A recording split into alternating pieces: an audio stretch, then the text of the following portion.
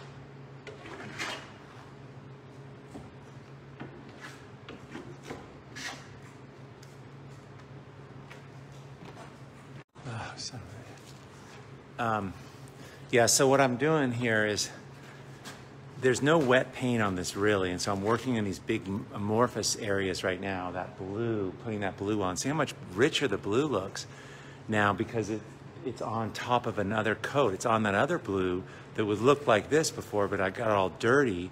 So now this blue is going on top of that, and it even looks richer because there's lots of that dirtier color. And because there's no paint on this that's wet, you know, like those shapes, I can smear this everywhere and I'm putting on liquid on top of it so it'll dry.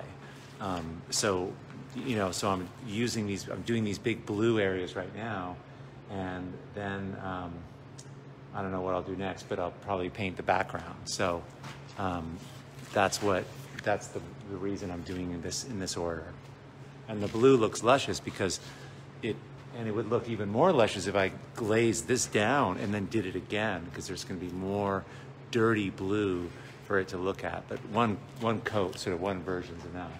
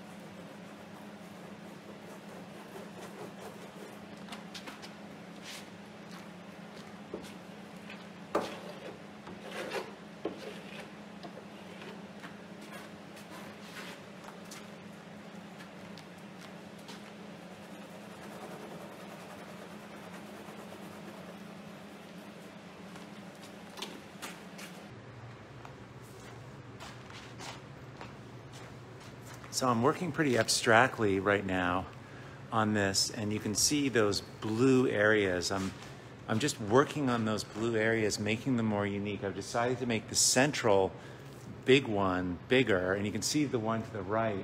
I'm going to make that smaller. So I'm designing those abstract shapes that are going to be in there. They're not going to be that noticeable, but they're, it's, they're still important. You know, you can see how right now there's this, it's almost like a columns.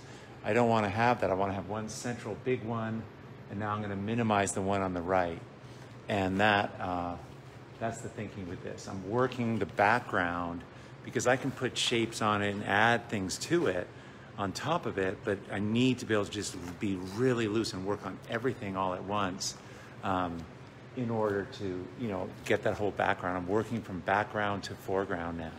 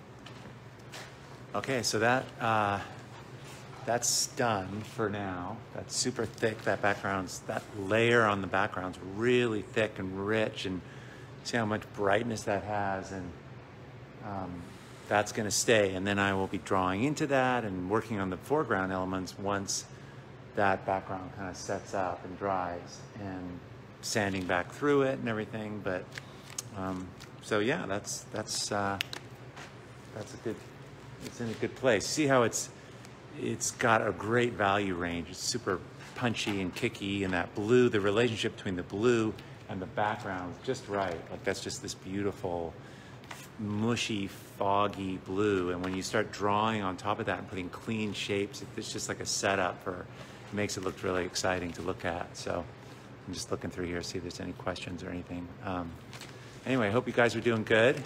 If you have any questions, I'm, I'm just kind of here cleaning up. So this is oil paint um, and oil pastels. And um, I'm sealing it with Liquin and a trowel. That's what sets up the oil sticks so they can dry.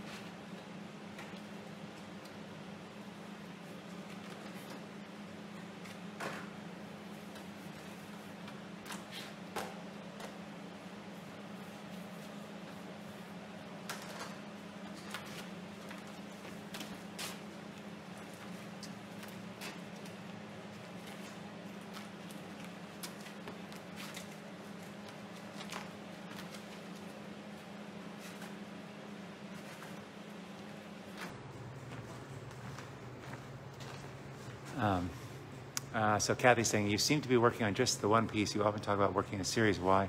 Why not now? Um, just I am. There they are. There's all of them. And so uh, it's just this is all I have is that 45 minutes, and I need to get that coat on there. But that's all the. There's that painting. This one. This one, and the one on the ground that I did the other night, and that one, and the other one next to it. So they're all kind of in a series. They're all kind of being made at the same time. Um, yeah, so most of these Anne are on uh, canvas, uh, wrapped on a panel, except the one that I'm working on today. That's a commission. That's why I had to get this coat on because I, I it's due and I need to like it needs to be drying and you know I can't wait around too much. I you know it just needs to be drying um, because I got to get it done. So um, I just had to get that background going on it. And that's part of the reason why I'm not just like working on all of them. I just have enough time to make sure that background's dry so I can keep moving on it in a day or so. Um, let's see any other questions? Um, what else can I show you? Um, this is a cool painting I did the other night let's see how I can do this. Let me turn it around. I'm kind of into this. This is um, just all this drawing on here. Um,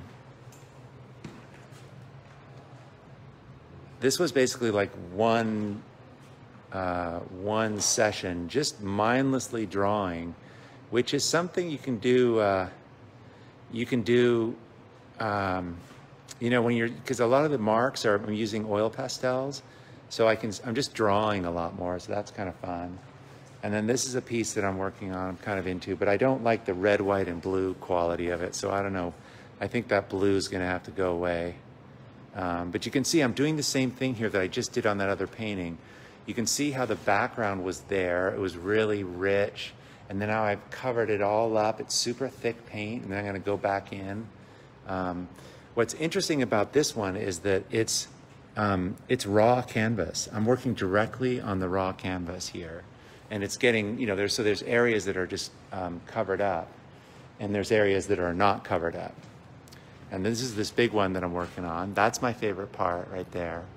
Um, and I'm in, what's cool is I've been on these, I've been doing these big color fields and then taking, uh, you know, like paper with paint on it and then drawing on the back of the paper and I'm getting all these like lines in it, which is really cool. You know, like that shape looks so good with those little, those little lines in there. Um, so that's one I'm kind of into. And then um, this one over here, um, I'm working on.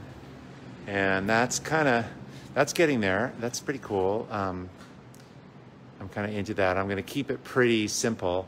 And then in here is this one that's like my older work, um, but it's sort of boring. And so I'm going to do something, I got to do something crazy to that. I don't know what, you know, it's just, it's just, it's the way I was working before. It's nowhere near as wild and crazy. So, um, so that's it. Yeah, those are all the paintings pretty much. And there's this one on the wall there, that pinkish one. That's another one I'm working, which I like the colors, but I think I just need, I'm not sure.